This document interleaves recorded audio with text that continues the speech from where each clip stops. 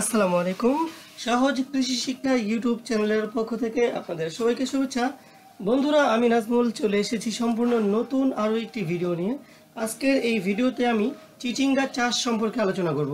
তো বন্ধুরা, এই ভিডিওতে আমি চিচিঙ্গার জাত এবং মাটি, জলবায়ু, চারা তৈরি কীভাবে করবেন, জমি কীভাবে তৈরি করবেন, জমির সার ব্যবস্থাপনা রোগবালাই এবং উৎপাদনের যে হার, এই সকল বিষয় নিয়ে আলোচনা করব। তো বন্ধুরা, ভিডিওটি শুরু থেকে শেষ পর্যন্ত দেখতে থাকুন। সর্বপ্রথম আমি চিচিঙ্গার যে সকল জাতগুলো রয়েছে, এই জাতগুলো সম্পর্কে একটু আলোচনা করি। আমাদের দেশে কিন্তু এর বিভিন্ন রকমের জাত দেখা যায়। যেমন ঝুমলং, সাদা সাবারি কৈডা বা বন চিচিঙ্গা। তো যাই হোক, এ হচ্ছে আমাদের দেশে সাধারণত দেখা যায়। তো এছাড়াও কিছু হাইব্রিড জাতের চিচিঙ্গা আমরা দেখতে পাই। সেগুলো হচ্ছে তিস্তা, তুরাগ, সুরমা, রূপসা, ঢাকা গ্রিন, মধুমতি, বর্ণালী, চিত্রা, রোহিণী ইত্যাদি। তো বন্ধুরা, এই সকল জাতগুলো আমরা সচরাচর হাইব্রিড জাত হিসেবে ব্যবহার করে থাকি। তো এখন আমি এর যে মাটি এবং জলবায়ু, এই বিষয়গুলো নিয়ে একটু আলোচনা করি। এর মাটি বা জলবায়ুগুলো কেমন হওয়া দরকার? বছরের যে কোনো সময় কিন্তু আমরা এই চিচিঙ্গা চাষ করতে পারি। শুধুমাত্র শীতের যে কয়েকটা মাস, এই মাসগুলোকে আমরা বাদ দিয়ে চিচিঙ্গা চাষ করে থাকি। তো বন্ধুরা, এর মাটির কথা যদি বলতে যাই, তাহলে সব ধরনের মাটিতেই মোটামুটি চিচিঙ্গা চাষ করা সম্ভব। কিন্তু এর মধ্যে যদি জৈব উপাদান সমৃদ্ধ দোআঁশ মাটি অথবা বেলে দোআঁশ মাটিতে আমরা এই চিচিঙ্গা চাষ করি, সেক্ষেত্রে সবচেয়ে বেশি ভালো ফলন পাওয়া যাবে।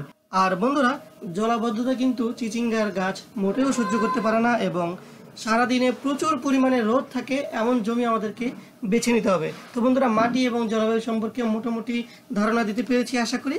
তো এখন আমি যে বিষয়গুলো নিয়ে আলোচনা করব, সেগুলো হচ্ছে চাষের সময়। কখন আমরা এই চিচিঙ্গা চাষ করতে পারব? এই কথা কিন্তু আমি শুরুতেই একবার বলে দিয়েছি যে চিচিঙ্গা সারা বছরই চাষ করা যায়, কিন্তু শীতের কয়েকটা মাস বাদ দিয়ে চাষ করলে এখান থেকে সবচেয়ে বেশি ভালো পরিমাণে ফলন পাওয়া যাবে।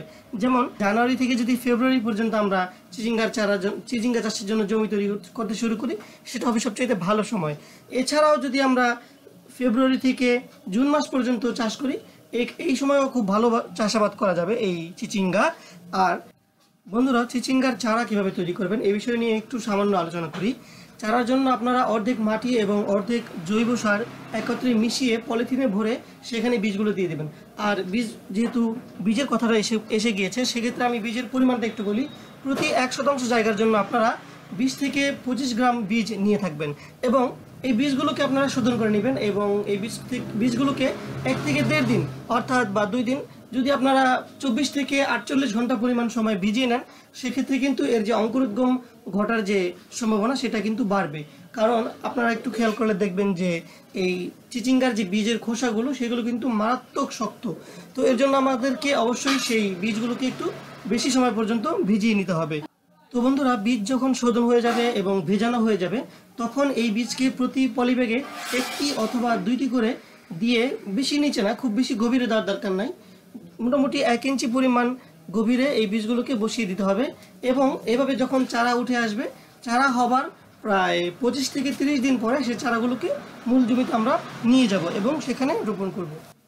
আর বন্ধুরা, মূল জমির কথা বলতে গেলে অবশ্যই মূল জমি আমরা কীভাবে তৈরি করব সেই বিষয়গুলো একটু বলতে হবে। আর মূল জমি আমরা তৈরি করব হচ্ছে মোটামুটি চার থেকে পাঁচটা চাষ দিয়ে জমিকে তৈরি করে নিতে হবে এবং জমির যে আগাছা ছিল সেগুলোকে সম্পূর্ণরূপে পরিষ্কার করতে হবে। এবং এই চাষের যে শেষ চাষ, সেই শেষ চাষের সময় আমরা পর্যাপ্ত পরিমাণে আমাদের জৈব সার এবং রাসায়নিক সার আমরা দিয়ে দেবো। আমি জৈব সারের পরিমাণটা নির্দিষ্ট করে বলে দিচ্ছি আপনারা যতটুকু সম্ভব ততটুকু পরিমাণে জৈব সার দিয়ে দেবেন।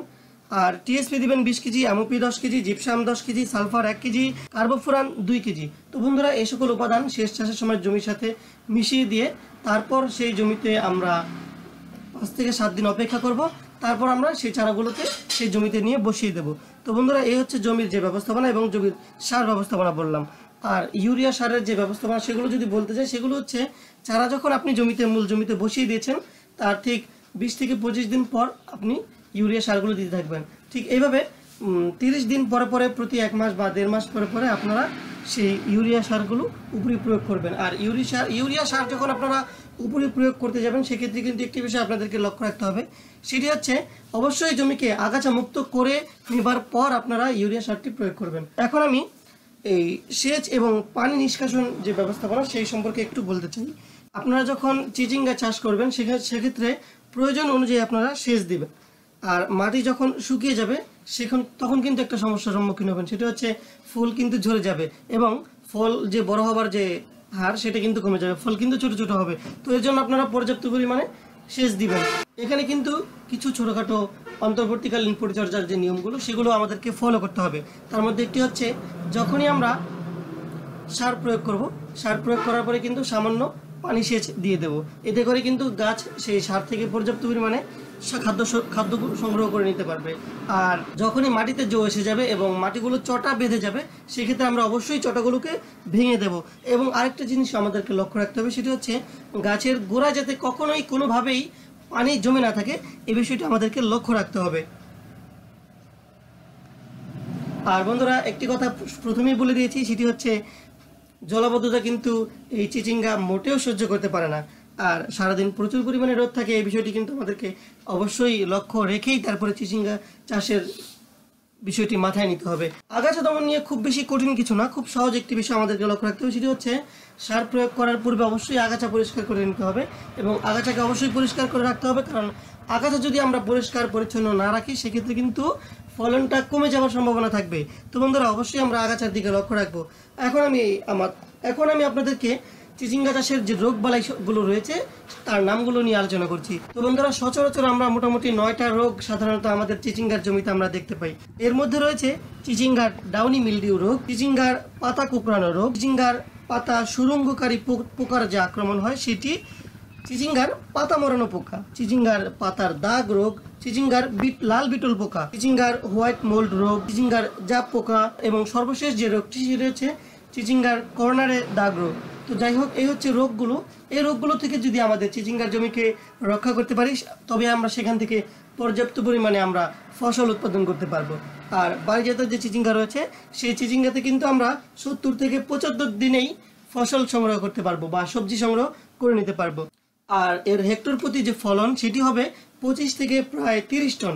তো বন্ধুরা মোটামুটি আমি জাত, মাটি জলবায়ু, চারা তৈরি, জমি তৈরি, সার ব্যবস্থাপনা রোগবালাই এবং উৎপাদন নিয়ে অলরেডি আলোচনা করে ফেলেছি। তো বন্ধুরা, এই ছিল আজকের ভিডিও যদি ভিডিওর কোনো অংশ যদি বুঝতে সমস্যা হয়, তাহলে অবশ্যই কমেন্ট সেকশনে আমাকে জানালে আমি উত্তর দেওয়ার চেষ্টা করব। আর বন্ধুরা, যারা যারা এখনও আমার চ্যানেলটিকে সাবস্ক্রাইব করেননি, তারা অবশ্যই অবশ্যই আমার চ্যানেলটিকে সাবস্ক্রাইব করে নেবেন। আর বন্ধুরা, সবাই অনেক অনেক ভালো থাকবেন। আসসালামু আলাইকুম।